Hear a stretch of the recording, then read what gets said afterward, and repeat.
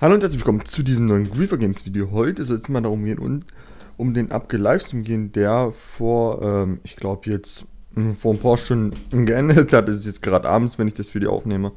Und zwar, Leute, ich war die ganze Zeit im Livestream dabei und da ist mir erstmal wieder aufgefallen, wie viele Leute rein donated haben, um einfach irgendwie einen Vorteil zu haben oder von Abge eine Plotbewertung zu bekommen. Äh, das war für mich wirklich teilweise gefühlt jede Sekunde irgendwie so ein 10 Euro Donate. Kannst du bei dem und dem Plot vorbeischauen, kannst du mir was geben? Wo ich mir so denke, hä? War der Stream nicht eigentlich dazu da, um die neuen Spawnplots zu vergeben oder um die Spawnplots, die noch frei sind, Leute? Darauf werde ich jetzt auch nochmal später eingehen. Ich werde jetzt aber, wir machen das Video ein bisschen aufgeteilt. Ich werde jetzt erstmal darauf eingehen, dass die Leute so egal haben. Dann werde ich auf diese Verteilung mit den Spawnplots eingehen. Und dann werde ich noch auf, ähm, diesen Duplizierer eingehen, der im Stream da war, und dann nochmal auf die ganzen Nachfolgen, wo dann später Abge auf Maintainia gegangen ist. Und zwar, man hat ja gemerkt, dass die Leute auch eine Menge donated haben, 10 Euro, haben auch, ähm, viele haben sich auch während des Streams Mitglied dran geholt. Ähm, währenddessen wurden natürlich auch nebenbei die Spawnplots verteilt, aber jedes Mal in jeder Donation war gefühlt ein 100 Meter langer Text, kannst du jetzt da und da vorbeikommen, äh, mir was donaten, wo ich mir so denke, Brudi, Du donatest jetzt lieber 10 Euro, anstatt dir irgendwie für die 10 Euro, ich sag mal, jetzt lieber zu sparen und lieber bei Grifo Games ein bisschen zu spielen. Wo ich. Warum? Warum donatet man bei Abgerein, um jetzt einen Vorteil zu haben? Eigentlich darf man, darf das ja nicht sein. Aber wenn da jetzt so eine 20 Euro Donation kommt, kann ja nicht Abge sagen, äh, nein, wir gehen jetzt nicht zu deinem Plot. Machen wir nicht. Ja. Ähm, weil wenn man so immer streamt Leute und Nationsmans bekommt, denkt man sich so, ja, ist halt Geld. Das ist immer das Problem an der ganzen Sache. Naja, okay, dann gehen wir jetzt auf den Teil ein, wie die Spawnplatz verlust wurden. Und zwar ist es mir schon so gekommen, wie ich es mir gedacht habe, Leute. Und zwar wurden die Spawnplätze ja nacheinander ausgegeben. Die sind auf die Citybits durchgegangen. Jeder, der einen Spawnboot-Gutschein hatte für die erste, zweite und ich glaube auch dritte Reihe, ähm, hat dann im Prinzip wenn er zuerst da war, ich weiß gar nicht, wie die das ausgelöst haben, muss ich erstmal gucken, ähm, haben die auf jeden Fall ähm, das Spawnplot dann überschrieben bekommen.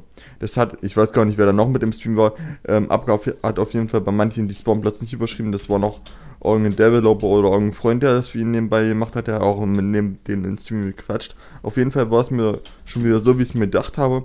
Viele reichere Spieler haben sich einfach unzählige Spawn ähm, äh, Gutscheine gekauft gehabt, haben sich die nebeneinander geholt und der normale Spieler hatte gefühlt wieder nichts davon. Wo ich mir so denke, Digga, die reichen Spieler sind doch sowieso schon reich. Es gibt Leute, die haben 30 Millionen auf dem Konto, haben, haben schon 5 Spawnplots am erste Reihe, ja. Da musst du denen nicht auch noch die anderen in den Rachen schieben.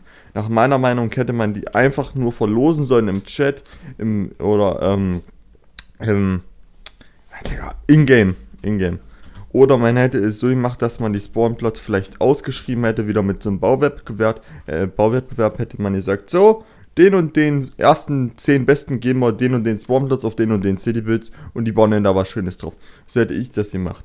Natürlich hätten diese Leute auch wieder äh, die Möglichkeit gehabt, denn ihre Spawnplatz zu verkaufen.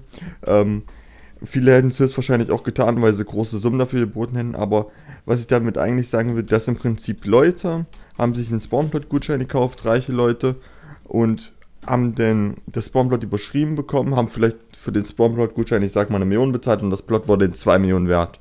Ja, im Endeffekt wurde damit nur mal wieder den reicheren Spielern geholfen und nicht, ich sag mal, kleinen Mittelschicht von Güfer Games, die jetzt 200.000 bis 300.000 besitzen und nicht wirklich allzu viel haben, die ihr kleines 4er-Merch oder 25er-Merch haben und da ihren Palast drauf haben mit, keine Ahnung, mit ihren paar Stacks Beacons, aber nicht wirklich jetzt, ich sag mal, so reich sind, dass sie sich erste Reihe leisten können. So, als nächster Punkt ist mir dann, äh, war ja dann im Stream später, hat auch jemand einen Spawnplot bekommen und der hatte dann, hat dann da Schilder drauf geschrieben und hat eine Kiste gemacht, dass der dass er duplizieren kann und das mal in der Kiste schauen soll. Der Typ wurde dann auch erstmal gewandt, aber Leute, der konnte wirklich duplizieren. Da waren drei Stacks Spawner drin, ein Stack Endportal-Rahmen noch unzählige Stacks Creeper-Eier und ich glaube auch noch ein paar andere Dinge. Ey, da habe ich mich, habe ich mir gedacht, Leute, wie kann das sein? Ich dachte, Griefer Games hat keine Duplizierungsbugs mehr. Und es muss ja ein Duplizierungsbug sein, der recht gut funktioniert, weil sonst hätte er nicht so viel duplizieren können.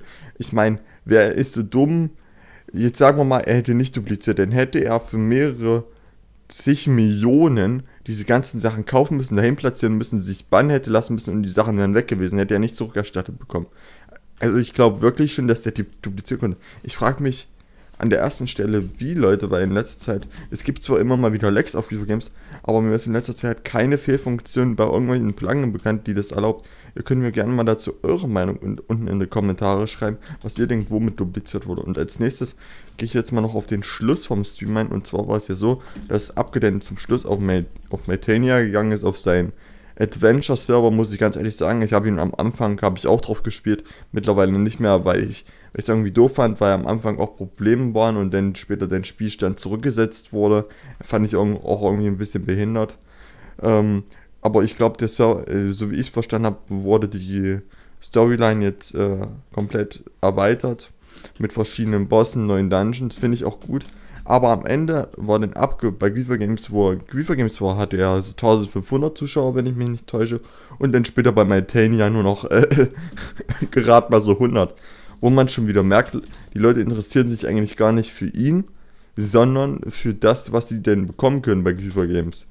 Die interessieren sich gar nicht für Abge, die interessieren sich mehr für Maintainer. Ist aber auch selbstverständlich. Ich bin, hab den später auch abgeschaltet, wo der 10 Minuten auf Maintainer war, Leute. Was ich persönlich sagen muss, ich finde es im Stream erstens immer kacke, dass man da nur rein donatet oder irgendwas äh, mit Geld macht, um die Sachen selber zu bekommen. Erfahrmst du lieber ehrlich, bringt am Ende sowieso mehr. Das Abge auch mal wieder, ich sag mal, das mit den Spawnload-Gutscheinen ist ja gut und schön, aber es hat im Prinzip wieder nur die ähm, reichen Spieler bevor, bevormundet. Und als nächstes, dass jemand duplizieren kann, habe ich mich gefragt, wie es geht. Das sind einige Dinge, die mich stören. Ich hoffe, die werden noch geändert. Also den, den, ersten Punkt kann man ja nicht ändern, weil das ist ja von den Leuten abhängig. Da müssten sich wirklich die Leute dahinter ändern. Aber die erst, die anderen, äh, den zweiten und dritten Punkt kann man auf jeden Fall ändern. Gut, Leute. Ich hoffe, euch hat dieses kleine Video dazu gefallen. Ich habe euch meine Meinung dazu gesagt.